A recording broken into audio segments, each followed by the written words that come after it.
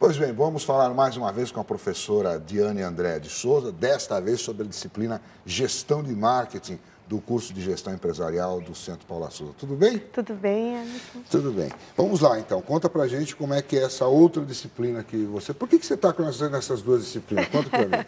é porque a minha graduação, ela é na área de marketing, e o meu mestrado é na área de política social, sociologia, e me habilitava também para poder trabalhar na disciplina de sociologia das organizações. Ah, então está explicado. Então tá bom. Então vamos falar de marketing hoje. Hoje vamos. É, como é que é esse curso aí? O que, que o aluno vai aprender no, né, com essa disciplina, gestão de marketing? Uhum. Então, num primeiro momento, nós, autores e professores, nós pensamos na disciplina... É, fazer um, um, apanhado de fundamentos de marketing. Então, a gente vai conceituar o que é marketing, é, também vamos falar um pouco sobre o histórico, quando que o marketing passa a ser estudado, né? E, na verdade visto como uma ciência. Então aí tem vários autores precursores nessa área, como Kotler, né, que é o grande é, autor da área de marketing atualmente. E depois a gente começa então a dividir a disciplina. No primeiro momento a gente fala das abordagens, da clássica e das contemporâneas. Abordagens Abordagens, então, porque são teorias, na verdade, uhum. né? Porque no primeiro momento, nas teorias de marketing, nós temos, então, é, o famoso 4Ps, que se encaixa.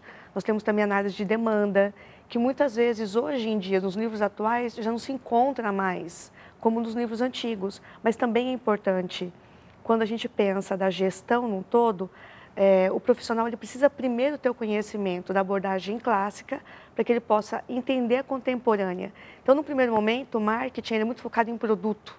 Então, é análise de demanda, são os quatro P's. Né? Até o que é quatro P's? Que é o produto, o preço, a praça e a promoção. Tá. Né? E depois outros P's que são incluídos depois no, no composto de marketing voltado para serviços. E na abordagem contemporânea, então, o foco é o consumidor.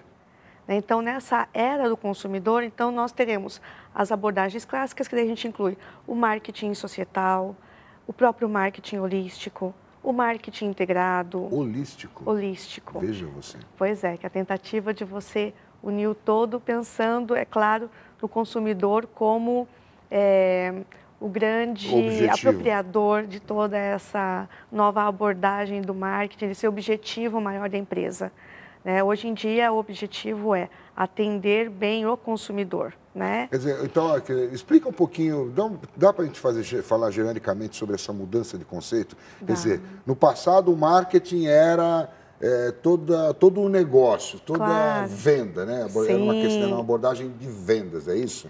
E, e hoje é diferente, é você que quer produzir o que o consumidor quer comprar. É, é isso? É, vamos. É. essa, essa é a primeira aula, né? Então é. a gente tenta deixar bem claro para o aluno o seguinte: primeiro, porque que nem o, a palavra marketing, ela não tem uma, uma tradução, uma né? tradução no português, né?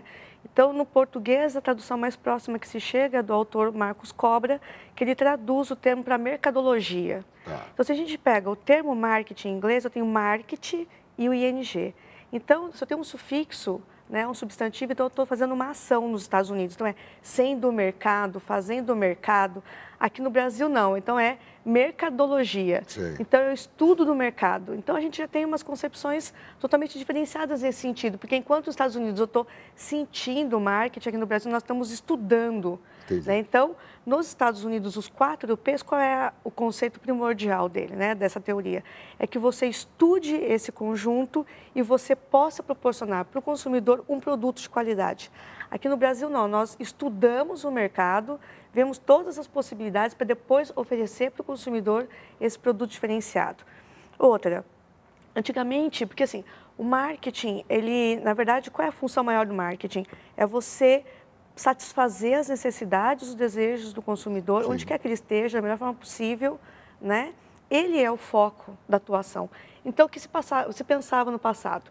Que quando eu, na verdade, fazia uma ação de produto, eu estava atendendo corretamente o consumidor. Hoje em dia, não. Hoje em dia, eu penso, eu preciso conhecer o consumidor para depois oferecer para ele um serviço diferencial. E agora, a terceira grande era do marketing que é encabeçado por Kotler né, e por os outros dois autores, que é o marketing 3.0 já voltado para o ser humano.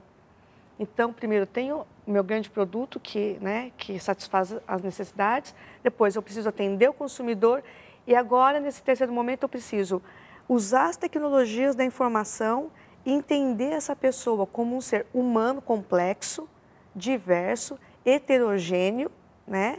Quando a gente pensa na grandiosidade de clientes, né, sociedade que nós temos hoje em dia, e oferecer para ele então um produto de qualidade.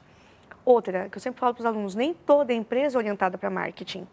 Porque uma empresa orientada para vendas, que só se preocupa com a venda e não se preocupa com o consumidor, não é orientada para marketing. Quem só se preocupa com produção, tampouco.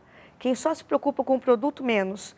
Então, a empresa voltada para marketing é a empresa que primeiro escuta o consumidor, para depois pensar no seu produto ou no seu serviço. Então, no futuro gestor, é importantíssimo ter esses conceitos claros, saber ter isso Com claramente. certeza. O cara quer ser um gestor empresarial, Sim. ele tem que estudar marketing. Com certeza, ele precisa. Hoje em dia é essencial.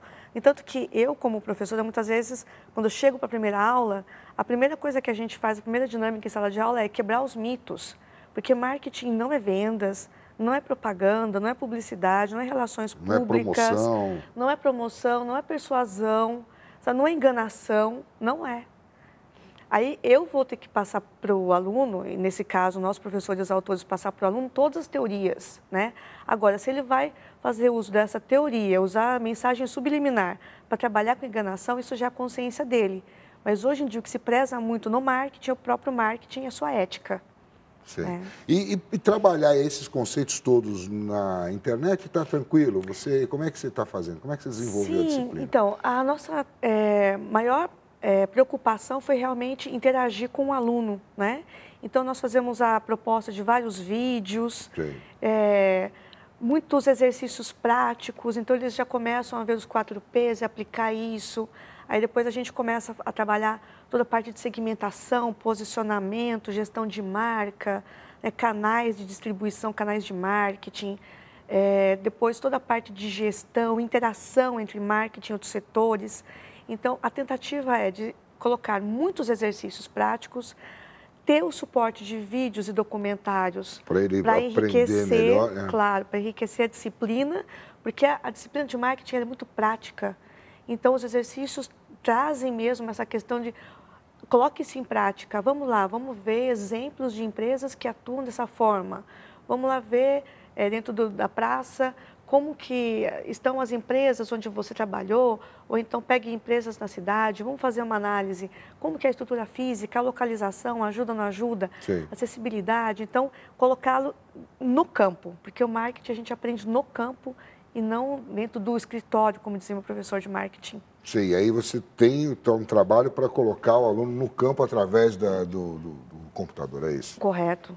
É, essa é, é o maior intuito e, na verdade, a grande meta que nós temos como professores autores da disciplina, eu, professora Viviane. E está tranquilo? O aluno tem que ter uma, um conhecimento prévio? É, nós recuperamos sim, alguns conteúdos, principalmente nas primeiras aulas, que é da disciplina de Teoria Geral da Administração, Hum, tá. né? Porque isso é importante para ele entender o contexto em que surge o marketing e como ele vai conversando com as demais teorias gerais da administração. E, na verdade, essa disciplina de marketing tem uma, segu tem uma segunda etapa. Uma sequência. Uma sequência, que é o planejamento de marketing. E várias outras disciplinas vão recuperar teorias de marketing para poder desenvolver o conteúdo de suas disciplinas. Entendi. Então, é, ela, além de importante, ela está ligada. Ela, ela, é, tá, uma, ela é multi, multidisciplinar. Correto. Assim. Ela vai fazendo o link com planejamento de marketing, depois com gestão estratégica, desenvolvimento de negócios.